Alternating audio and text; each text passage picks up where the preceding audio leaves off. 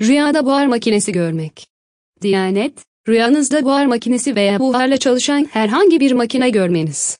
Hayra alamet değildir.